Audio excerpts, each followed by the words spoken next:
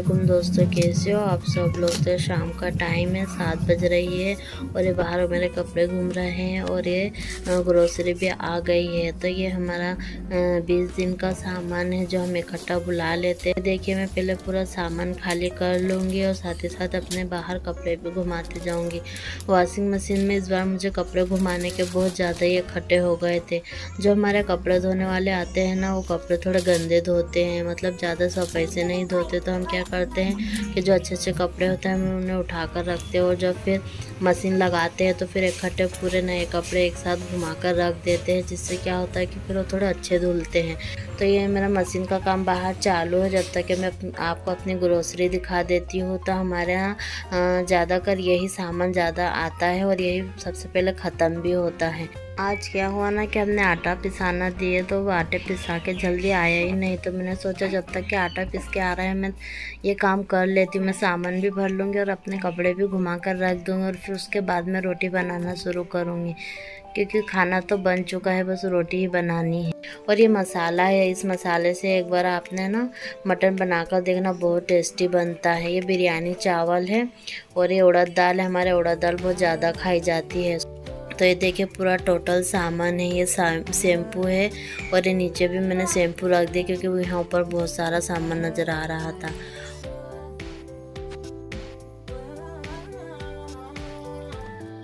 और ये देखिए, मैं ग्रोसरी आने से पहले ही मैंने अखबार सब चेंज कर दिए थे ताकि मैं जब भरूँ तो फिर डब्बे और जगह सब अच्छी साफ़ सुथरी दिखे।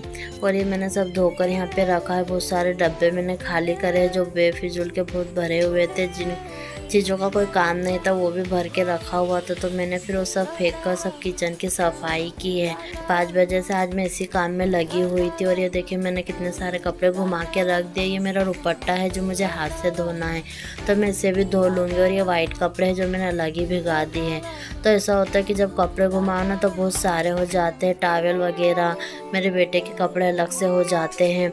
तो आटा भी अब पीस कर आ गया है तो अब मैं जल्दी जल्दी रोटी बना लेती हूँ क्योंकि आठ बज गई हो बहुत ज़्यादा लेट हो गया और मैं सबको साथ में खाना भी दे दूँ तो ये देखिए मेरे ससुर जी ने पापड़ लेकर आए थे तो ये बहुत सारे पापड़ तो मैं तल के उन्हें बता रही हूँ कि, कि कैसे तले। और मैं अपने बेटे को भी बोल रही हूँ कि तुम भी साथों साथ खाना खा लो।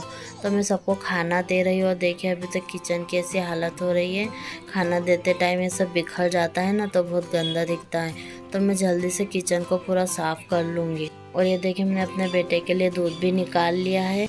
मैंने भी खाना खा लिया, मेरे बेटे को भी दे दिया है और सब काम भी हो गया है, सफ़ाई भी कर दिया, सब सामान उठा के रख दिया है, बस ये अंडा और दूध मेरे बेटे का है जो मैं लास्ट में ले जाऊँगी और अब जो बाहर का काम रह गया बस अब रात के दस बज चुके हैं, मुझे सब काम करते करते दिखने में तो बहुत आसान लगता है कि ग्रोसरी भरना है, कपड़े घुमाना लेकिन इन सब कामों में और साथ में रोटी बनाना, खाना देना ये करते करते मुझे रात के दस बज चुकी है और ये अभी भी पापड़ भरने का काम रह ही गया है। हमारे अंदर बिल्ली आ जाती है तो वो सब फेंक वेंक देंगी तोड़ फोड़ कर देंगी।